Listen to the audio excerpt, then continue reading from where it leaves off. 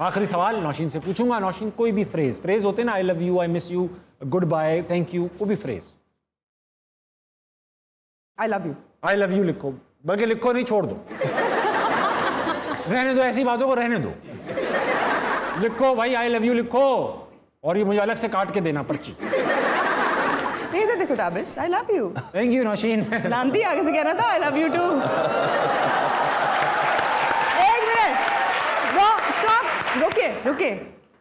दोबारा से। कैमरा बंद करना। ए, नहीं कोई का कैमरा बंद नहीं।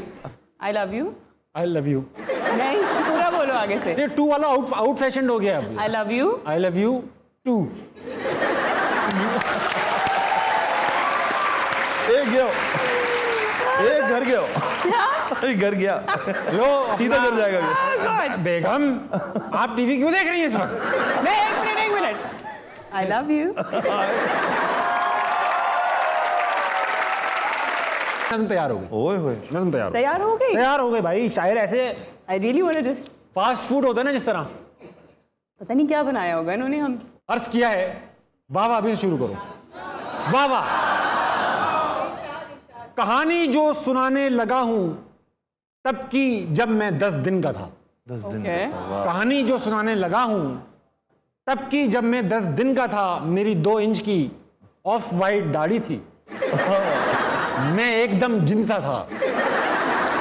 बात बात पे कहता था आ हैरान होके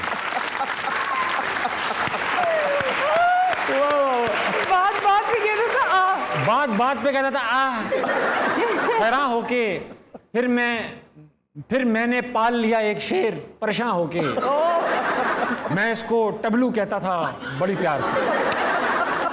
मैं इसको टबलू कहता था बड़े प्यार से वो मुझे अपनी अम्मा समझता था। बुखार में। मैंने अपना मैंने अपनी तोंद इसके दिल पर रख दी। आप पोजिशनिंग पूछ रहे थे। तोंद आपने उसके दिल पे रख दी। वो लस्सी पी रहा था मैंने उसका जूठा चख लिया। इतना प्यार था हम दोनों में शमून में तुम्हें क्या बताऊँ? इतना प्यार था। हम दोनों में शमून में तुम्हें क्या बताऊँ? वो रिक्शा चलाता था पूछता था आप कहाँ लेके जाऊँगे एक दिन वो बनियान पहन के जो गया बाहर कयाम पाकिस्तान के ज़माने का गैंग जो मरने में था माहिर ख़त्म नहीं हुई अभी तक आज है। माहिर इस गैंग के हर बंदे की कोहनी दस फुट लंबी थी। वाह वाह। फिर बहुत देर हो गई थी आ गया बाबा उनके हाथ। अब मैं इससे दूसरे जहाँ में मिलूँगा सौ साल बाद। वाह।